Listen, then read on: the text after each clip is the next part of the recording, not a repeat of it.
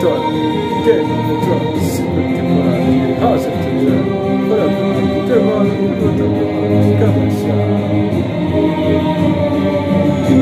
House of the Dragon, a casa do dragão, segunda série Game of Thrones, voltamos após comerciais. Semana épica pra vocês. Boa semana, galera. Vossa Graça. Lady Jane Arryn ofereceu seu apoio em troca de um dragão para proteger o vale. E o Lord Cregan Stark prometeu dois mil homens